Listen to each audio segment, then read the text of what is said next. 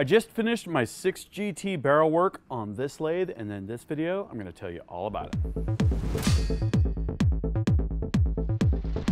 Gavin Gear here from UltimateReloader.com. I'm really excited about my 6GT build. I cannot wait to shoot this thing, and we're a step closer. In the last video, I went over the project goals. I talked about 6GT versus 6 Dasher, and we talked about all the components, parts, and pieces. In this video, we're going to focus on barrel work, and I've done quite a few rifle, barrel, chambering, and muzzle threading videos, and it can be quite a long and complex story. So what I've decided is each time I do one of these barrel work stories, I'm going to go in depth on one thing. This time we're going to talk about sanding, polishing, and laser engraving the barrel in detail, but I'm going to cover the entire process start to finish as well. So to review for this build, we've got a BAT TR action. This is BAT's tactical action. We've done quite a few rifle builds with this action and it's an in-house favorite we've got a Krieger barrel blank. This is 5R, 28 inch finished length, and it's got one in seven and a half twist rate, which should be great for the 6GT. So for tools, I'm using the Precision Matthews TL1660 lathe. This thing is big. It's got a 16 inch swing. It's 60 inches capacity between centers. This is my larger lathe. This is a three phase machine. I also have the PM1440 GT, which you'll see me use to sand down the barrel prior to polishing and engraving a little bit later in this video. We've got the true bore alignment system. This is an articulating chuck that does axial and radial alignment. It's clamping your barrel with a six jaw chuck, which gives you a lot of great versatility and a little bit more even support for those delicate areas. I've got the SSG range rod, which is optimized for use with the true bore alignment system. Really great pairing. That uses two bushings, one further inside the barrel, one out towards the end. It aligns an alignment rod that you can use with an indicator to use axial and radial adjustments on the true bore alignment system to get your, your barrel just dialed into absolute perfection. We've also got an Alpha Legacy reamer. This is from Alpha Munitions. This is their 6GT reamer with 170 thousandths of an inch freebore. That was specified. Uh, talked to Tom Danielson about it, and he said that's going to work great with the selection of bullets that you plan to use. I've got a Dave Manson Go gauge for 6GT, which I can also use as a no-go gauge when I apply a piece of tape to the back. That gives you two thousandths extra length. So let's start out with the muzzle end work. This is my standard muzzle threading job. We start with the dial in, again using the SSG range rod and the true bore alignment system. Part off the end. This time it was about an inch that I part, parted off. Turning the tenon down to diameter, cutting the thread relief groove, cutting the step down on the end. That'll help to align whatever muzzle device you're going to thread on prior to it engaging the threads. Facing it to length, I cut it to about 610 thousandths of an inch from the shoulder threading it, and then cutting the recess and the crown. So again, kind of my standard muzzle threading job. Then we move our attention to the breech end. Now I do the muzzle first now because I use a barrel extension screwed onto the muzzle end so that I can support the barrel and I can blow compressed air through it from the other side. I have an outboard spider that secures the end of that barrel extension. This machine has a very long spindle, it's a very large and heavy duty machine. If I'm using my PM1440 GT, the barrel sticks out the other end, so it makes it a little bit easier to deal with uh, in that way. So I do a pre-dial of the barrel within, say, a half thousandth of an inch. Uh, do any facing or parting that needs to be done then. Then we do a pre-drill. We're going to take our length down by 0.1 to 0.2 inches, base to shoulder, and then take the diameter of the shoulder area down by at least 30 thousandths of an inch and just bore out that that bulk material where the chamber will go with a drill bit. Then I can get the nose of my indicator into the critical throat area section and ahead of that about an inch to do my final dial. Once the final dial is done, we can bore out that pre-drill area perfectly true. So when the reamer comes in later, it's going to be riding on a surface that's perfectly concentric uh, with the lathe spindle. That way the reamer starts perfect, we're not going to pick up chatter, hopefully, and things will finish perfect. We turn the tenon down to diameter. we cut the thread relief, we cut the step down, kind of like on the muzzle end actually, and then we cut the counter bore. So this is sort of the, the first portion of the breech end work. Then continuing that work, uh, we've got thread transitions. I like to cut a ramp where the threads are going to start and where they're going to finish on either side at about 45 degrees. This gives a really nice transition into the threading and back out of the threading when the threading tool goes across. We do the threading. This is 1 and a 16th by 18 in this particular case. Uh, we cut the chamber, the bulk of it, with the chambering reamer. And this is, I'm going to get within, say, about 20 thousandths of an inch of where I need to be in terms of depth. I'm going to stick the go gauge in to get a visual reference Perfect. on our tenon chart diagram from Bat Machine. They're going to tell you how far the base of the go gauge is going to be relative to the end of the barrel tenon and so on and so forth. For the last 20 thousandths of an inch, I'll start to screw the action onto the threads and use a set of feeler gauges stacked together at first to get a rough idea of how far we've got to go. I'll apply my scotch tape to the back of the go gauge to give me two thousandths extra depth to account for the crush when we tighten the barrel and cut down incrementally. I'll usually have a couple thousandths, check again, and then see where I'm at, see where I need to go. In the end, my goal is with the go gauge plus that scotch tape on the back, I want to just see the ever so slight resistance when I'm closing the handle with that receiver screwed on. And that's exactly what I got this time, which is awesome. Uh, then I went in with my Teslong NTG 100P, cover that in just a second, and inspect the throat transition. Polish the chamber with some fine sandpaper and then cut the chamfers where the start of the chamber is, where the inside of the counterbore is, the outside of the barrel tenon, and where the shoulder is, so that we don't have any sharp edges. Okay, so that setup, the NTG 100P from Teslong, very affordable bore scope, works with your phone, your tablet, or your PC. And I have this mounted on a, a tool holder, as you can see here, a CXA tool holder. I can run that in, I can spin the barrel to see if I've got any waver in my throat transitions, right where they stop in, and transition into the rifling.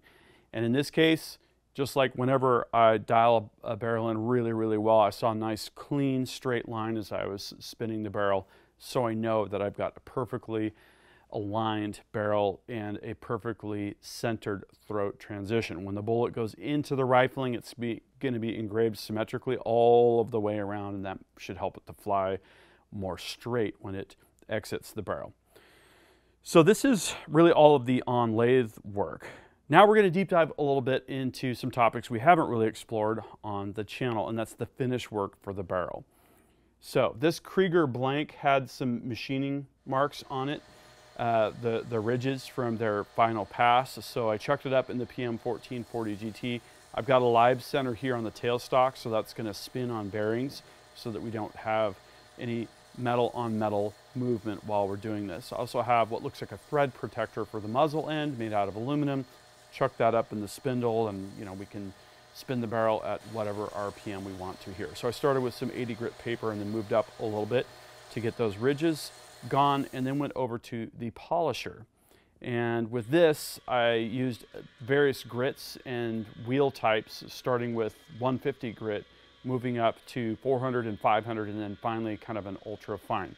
So we've got a kind of near mirror polish on the barrel, looks pretty nice. And when we get to that point, we're ready for the laser engraving. So, big call out. I had a friend, Alex, from Laser Everything. I met him through his YouTube channel. I reached out to him. I said, "Hey, I need to get a laser engraver for, you know, some firearms marking tasks. And what should I buy and how do I set this up?" Alex has helped me from start to finish. I found him because his videos are awesome and, you know, kind of buyer's guide kind of stuff.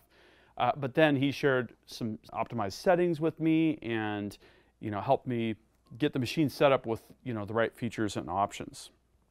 So what I ended up with was you're going to find a couple different types of power sources for these fiber lasers. What you want for this type of marking is a, a fiber laser. There's a Raycus power source. There's a JPT power source. The JPT gives you a lot more flexibility with different frequencies and things like that. So if you need to do, uh, you know, PMags, plastic, and metal, and a whole bunch of different types of things, the JPT power source is kind of the way to go. 50 watts is a little bit more power than the 20 or 30 watt machines that are kind of entry level. So that's going to speed things up and give a little bit better uh, capability. I got a rotary axis, so I can actually engrave you know, you could do tumblers, engrave different things around the circumference of the rifle barrel, things like that. It uses EzCad software, which is uh, a way to basically program the machine to, to do what you want. You can import Illustrator files. And what I learned from Alex is that it's not just, you know, going around and doing text. It's basically anything that's even a letter, the letter A, for instance, has to be hatched. So the, the laser uh, marks that it makes are very, very thin and kind of delicate, uh, if you will. So you have to hatch it so that the hash marks are almost touching. And, and what I did for this was I had hatches going at, you know, basically 90 degrees to each other, perpendicular to each other, negative 45 and positive 45 degrees. So there's quite a few parameters to set up uh, on these machines. I decided to go with the 150 millimeter by 150 millimeter working area that concentrates the power a little bit more. I think it gives you what is that, somewhere around six to eight inches square working area, which is plenty, you know, for the barrel specs that we're going to be engraving on a lot of these barrels. So here's the Amazon listing for that. It was about $6,200 for uh, the engraving machine, and it's worked really, really well so far. So here's the EzCad 2 software. The way that I had it set up, we've got the chambering spec 6GT, 1 and 7.5, 28 inches overall length. I like to give all these stats so that if I'm working in my ballistic software or I'm selecting a bullet, all I have to do is look at the side of, of the barrel and see all of that information. And then the manufacturer, which is me, Ultimate Reloader. So we ended up going with 74% power, uh, 1900 millimeters per second speed, 25 kilohertz frequency, and five marking passes to get it to the appropriate depth. Now I've done a test on the lathe. I, I did an, engra an engraving on a cylindrical object, stainless steel, same, same stuff, 416R. And I turned it down until I could I could just barely faintly see it, and I took a thousandth or eight thousandths, excuse me, off of, off of each side. Sixteen thousandths off the diameter took me down to where I could barely read it. That means the engraving is eight thousandths of an inch deep, and that means we're way beyond the I think it's three thousandths of an inch that the ATF requires for marking firearms, which pertains more to things like serial numbers. But just so you know, this machine can definitely handle it.